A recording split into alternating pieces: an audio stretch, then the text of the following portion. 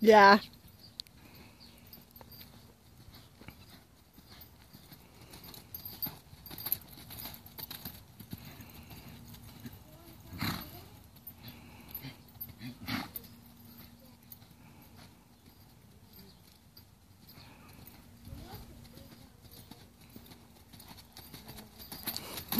LJ's like, you know, Christine's not going to want to go to sleep.